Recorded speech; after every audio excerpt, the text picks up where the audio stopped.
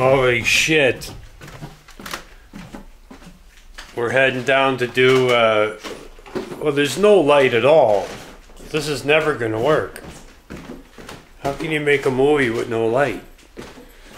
This will be guitar request. Uh, what happened, man? It's like, it's not nighttime. Must be a big storm. Guitar request repair freaking Saturday, I guess. Or Sunday or Monday or whatever day you're gonna watch it. Okay, so like YouTube sucks a sack.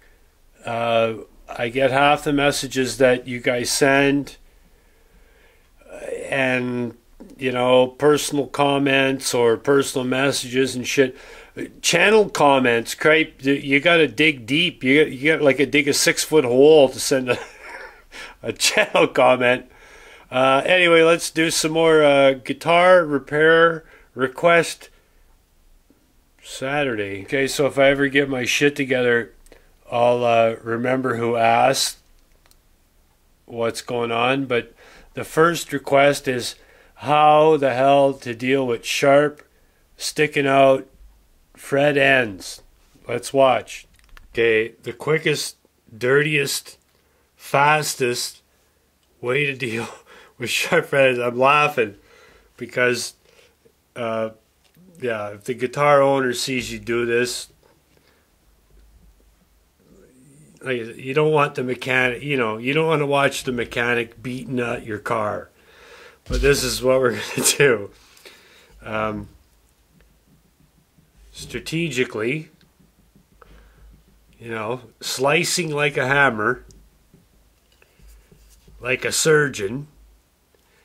Uh, that little bit that's sticking out there, you can just give it one good little tap, and sometimes two good little taps.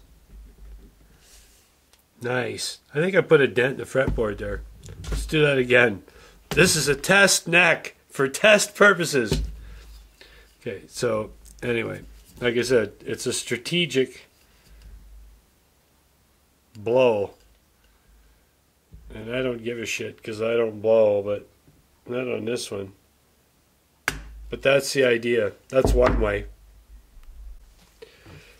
Another way to deal with the sharp fret ends, if it's quick and dirty and it's a shitty cheap guitar, keep in mind we have to gauge the repair to the value of the instrument. So I can't spend four hours doing each fret end on a $120 guitar. And unfortunately, the $120 guitar is the one that's going to have these sticking out.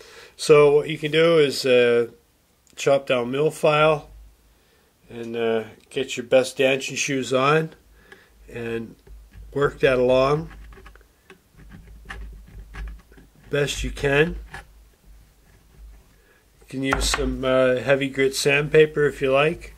Depends how much you care about the edge of the fretboard. Obviously, if it's binding and everything, we get into a whole other banana. Hold on, I'll show you. If it's a guitar I actually gave a shit about,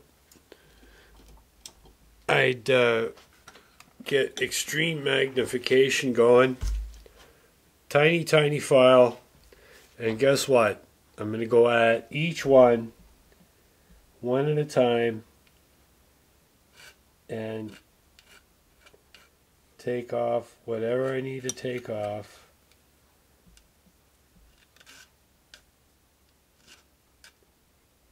Fun, huh?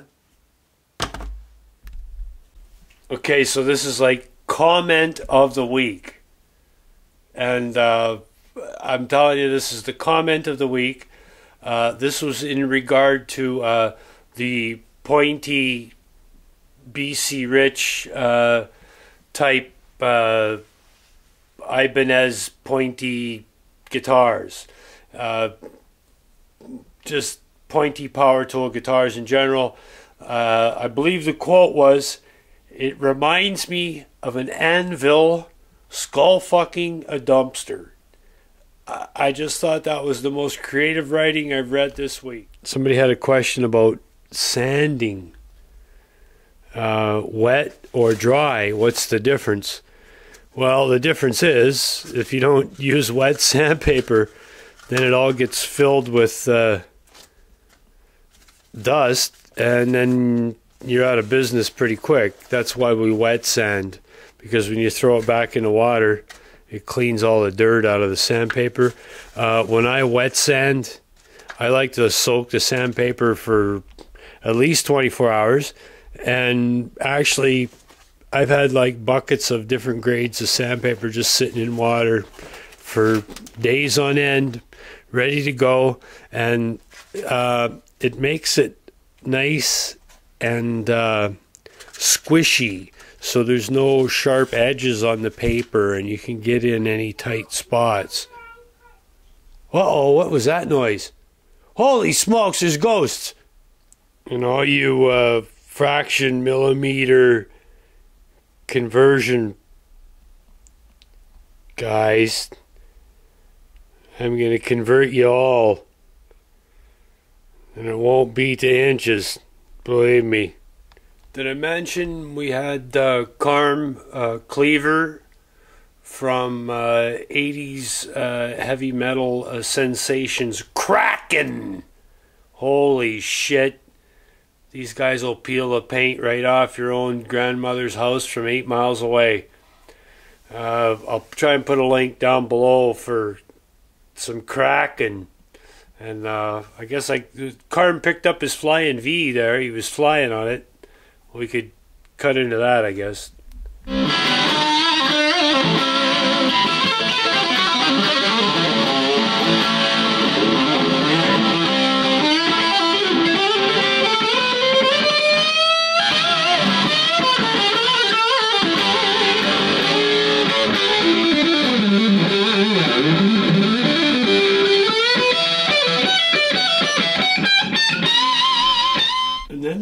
This magazine that I got at the show. I, I just started looking through all the stuff from the trade show.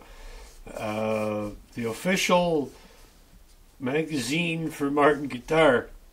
You know, this is kind of cool, but like, dude, come on. The official fingernail cutting contest.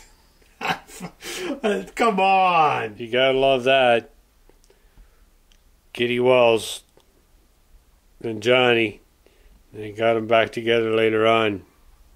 Cool. And not to be outdone, I did get another comment that it's not the number one comment, but you know, it, it came in second. And the comment was compared to the Martin guitar, mine sounds like a toilet seat with strings attached to it. what the hell's up with that? I can't get over that, man. what the hell's under them bandages?